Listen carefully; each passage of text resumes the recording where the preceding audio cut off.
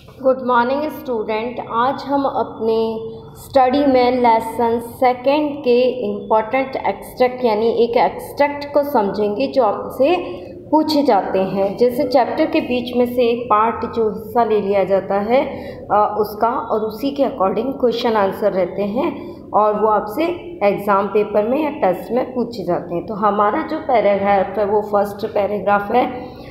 इस जिसको मैं रीड कर रही हूँ और आप समझिए। But Evelyn was not going to give up she was determined to lead a normal life and pursue her interest in music one day she notice a girl playing a xylophone and decide that she wanted to play to it most of the teachers discourage her but her percussionist Ron Forbes spotted her potential. He began to by turning two large drums and different notes.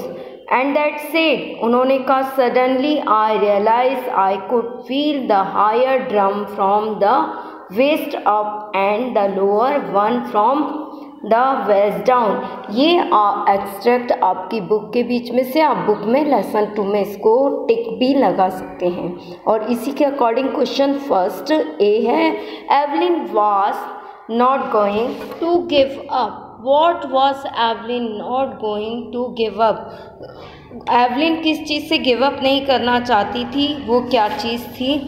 तो आप second question देखिए when did Evelyn decided to play music Evelyn ने music play करना कब decide किया? Question number C is that why did Ron Forbes encourage her Ron Forbes जो थे, उन्होंने उसे क्यों एनकरेज किया था? यानी आगे बढ़ा, बढ़ने के लिए प्रेरित क्यों किया था? D what did Ron Forbes tell Evelyn Ron Forbes ने एवलिन से क्या कहा?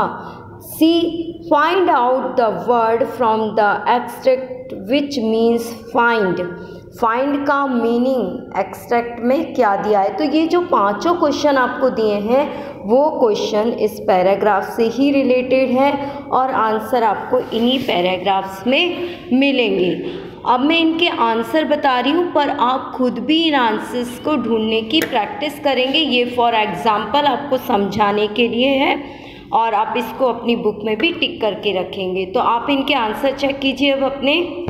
फ़र्स्ट ए नंबर का क्वेश्चन जो था, उसका आंसर है Evelyn was not going to give up her interest to lead a normal life Evelyn जो है अपनी नॉर्मल लाइफ को जीना नहीं छोड़ना चाहती थी, उससे गिव अप नहीं करना चाहती थी। नेक्स्ट क्वेश्चन जो आपसे पूछा गया था when did Evelyn decided to play music Evelyn ने म्यूज़िक को प्ले करना कंटिन्यूसली जारी रखना, कब डिसाइड किया था? तो पैरा में आप देखेंगे Evelyn decided to play music after noticing a girl playing a xylophone जब उसने एक लड़की को जाइलोफोन बजाते हुए देखा था, तब उसने अपने म्यूज़िक को जारी रखने का, यानी स्टार्टिंग रखने का डिसीज़न लिया था। सी क्वेश्चंस में आपसे पूछा था कि उन्होंने रॉन फॉब्स ने रॉन फॉब्स ने एनकरेज क्यों किया था? तो Ron Forbes encourage because he lead spotted her potential क्योंकि वो उसके पोटेंशियल को पहचान चुके थे। नेक्स्ट डी रॉन फॉब्स ने क्या कहा था? तो रॉन फॉब्स ने उससे कहा था don't listen through your ears try to sense it some other way आप अपने कानों से मत सुनो अदर वे से सुनने और समझने की कोशिश करो। नाउ लास्ट आंसर आप देखेंगे। लास्ट आपसे पूछा है फाइंड का मीनिंग तो फाइंड का मीनिंग होगा स्पॉट ई नंबर का जो आपका क्वेश्चन था. आप इन पैसेजेस को ध्यान से पढ़ेंगे और अपनी बुक में टिक करेंगे. इसके साथ ही अदर ज़रूरी नहीं है कि आपसे यही पैसेजेस पूछे जाएँ या यही एक्सट्रैक्ट पूछे जाएँ. आपके चैप्टर से रिलेटेड दूसरे भी एक्सट्रैक्ट पूछे जा सकते हैं. Now thank you students